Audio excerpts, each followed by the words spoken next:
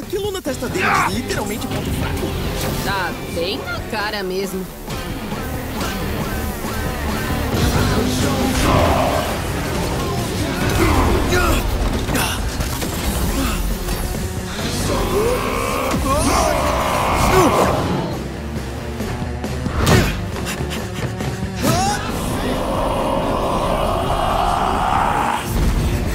Foi uma música matadora.